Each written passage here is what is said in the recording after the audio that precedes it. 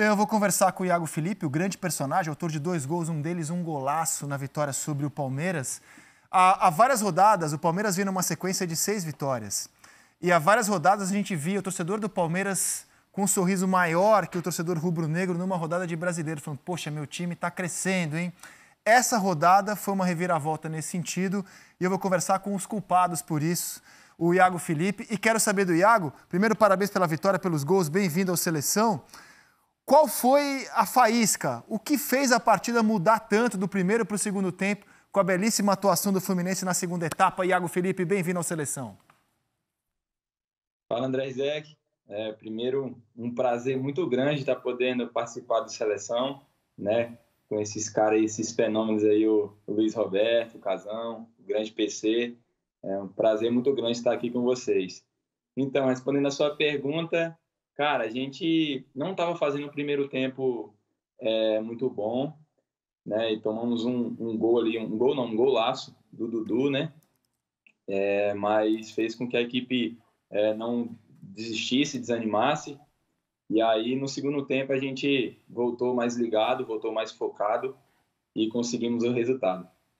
Ontem, no troca de passes, o Roger Flores disse que tem dificuldade de explicar ao Fluminense que o, o, o Fluminense, às vezes, na opinião do Roger, né, é, precisa estar tá no, precisa nocauteado, não, mas precisa estar tá nas cordas, apanhando com o adversário lá, para ele, Fluminense, falar assim: agora eu vou reagir, agora eu vou para cima. É, você concorda com essa analogia do Roger, que muitas vezes o Fluminense precisa ser machucado, precisa ser é, bombardeado para ele acordar no jogo e ir para cima? Porque ontem realmente foram tempos muito distintos, né? Como a gente estava conversando aqui. Então, é, é, eu concordo com o Roger. Acho que não só o Roger tem essa dificuldade de entender o Fluminense, acho que a, a grande maioria tem dificuldade de entender o, o Fluminense. É, faz grandes jogos, né, contra grandes equipes aí que são finalistas da, da, da Libertadores. É, muito, mas muitas das vezes a gente deixa para reagir mesmo, né? Não porque ah, a gente quer isso, né? Logo que a gente quer fazer o resultado logo no começo, mas tem tem, tem jogos que, que a gente incorpora mesmo essa, essa força que tem o Fluminense de, de sempre reagir, né? Muito bem, PC, a gente está vendo nos melhores momentos o Fluminense jogando com uma terceira camisa é ontem. E aí o golaço. O... E que bom vê-lo aqui no Seleção com o uniforme tradicional do Fluminense, é. que é muito mais bonito que essa camisa com a qual o time jogou ontem. Hoje o torcedor andava orgulhoso pelas ruas do Rio de Janeiro com a camisa do Fluminense. Iago, boa tarde.